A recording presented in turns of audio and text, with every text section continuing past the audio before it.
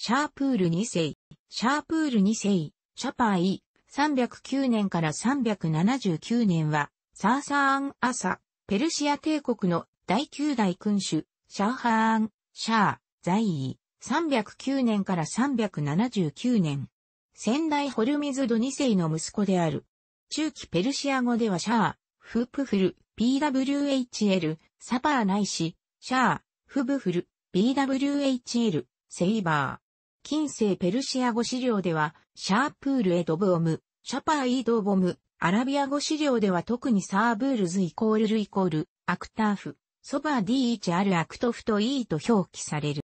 シャープール2世の時代は、初期サーサーン朝の中央集権化プロセスの一つのピークであると考えられる。大貴族はシャープールの統位を後押しした。この大貴族たちがどういう勢力なのかははっきりしないが、まだ生まれてもいないシャープール2世を君主として担ぎ上げることを決める。母はユダヤ人であると言われ、妊娠中の腹に王冠が置かれた。それまでの王家のバハラーム系とナルセ系の対立を見れば、応答が2分する危険性を認識していたのだろう。兄たちのうち一番上の兄は殺され、二番目の兄は目をつぶされ、三番目の兄は牢獄へ閉じ込められている。苦しくも、先代の時と同じく、ホルミズドという名前で、彼もローマへ逃げている。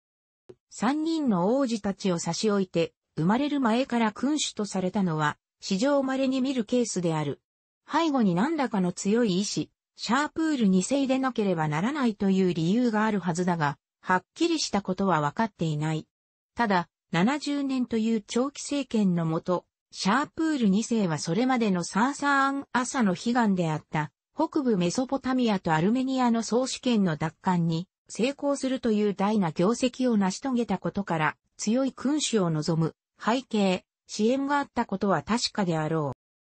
う。当初、幼いシャープールは貴族の区靴と言ってもよかったが、貴族の黙認のもとに権力を握っていった。ローマ帝国のディオクレティアヌスやコンスタンティヌス一世の改革がサーサン朝の生態、強力な中央集権下の参考にされたことは想像するに難くない。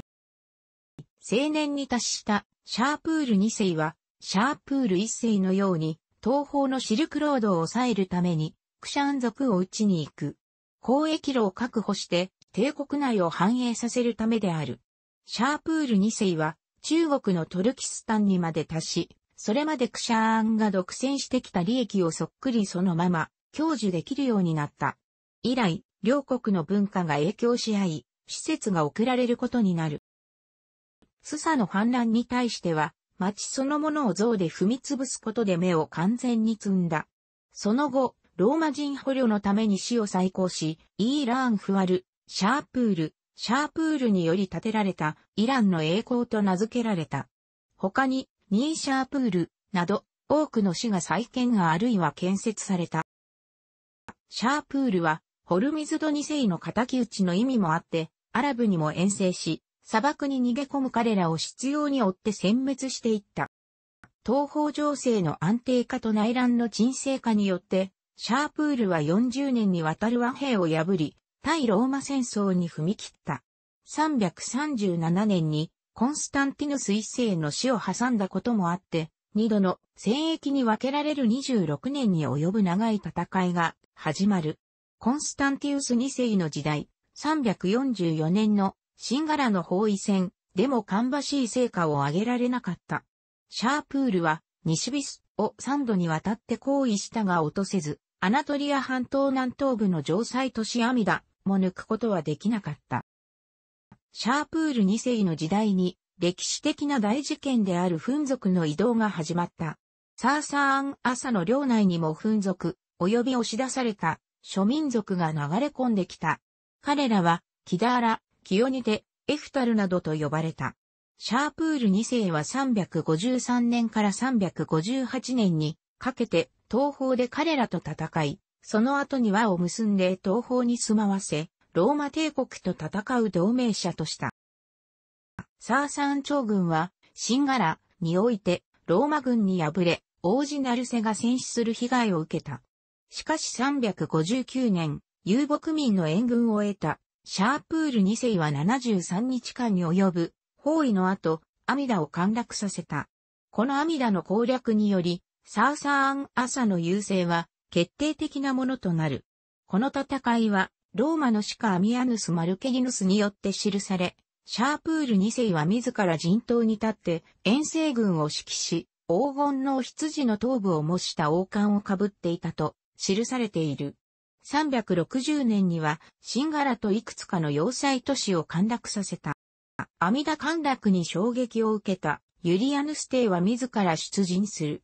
363年のクテシフォンの戦いでは優勢に立つも、ユリアヌスは戦死した。後継者ヨーヤヌスは、軍を安全に退却させるため、ティグリス川左岸のローマ要塞、西ビス、シンガラなど、計5つの属州を、シャープールへ割譲、アルメニアから手を引くという大幅な情報をする。これによりシャープールはアルメニアへ侵攻した。その後シャープールはワレンスとの交渉のためアルメニアへ赴こうとしたが、ワレンスがゴート戦で戦死したため実現しなかった。シャープールはアルメニアの親ローマ派である王アルサケス2世を幽閉後自殺に追い込み、アルメニアをキリスト教国からゾロアスター教国へ変えようとした。ニーシャープールにある石碑には、おそらくヨビアヌスと思われる人物が、シャープール2世に対してひざまずいて、和を乞う姿が描かれている。サーサーン・アサの国勢である、アケメネス朝の最高に向けての領土拡張という点では偉大な成果を上げはしたが、当時としては、異例の長期間、半世紀を越す在位は貴族たちの牽制を弱め、また、ローマとの戦いで受けた被害も大きかった。その後、貴族たちの王家に対する干渉が強くなっていった。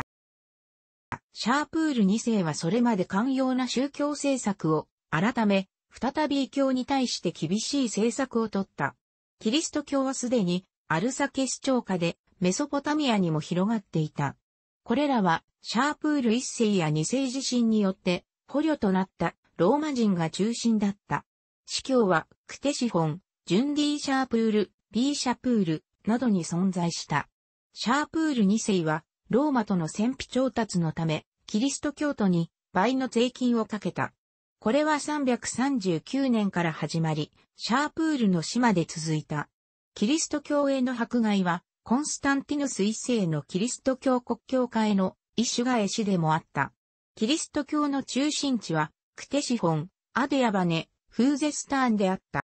ゾロアスター教の教会組織は、独立していたが、君主により支えられていた。サハビー朝同様、最高の地位は、教会、国家に君臨する君主であった。しかし一方で、司教、他方で貴族によって組織されていた。シャープール2世時代のゾロアスター教の上位神官階級であるモーバド、アードルバドは他の宗教よりゾロアスター教の地位を高め、宗教信条の確立に努めた。聖典であるアベスターはこの時代に確立した。また一旦排斥も強まり、ズルワーン教は排撃された。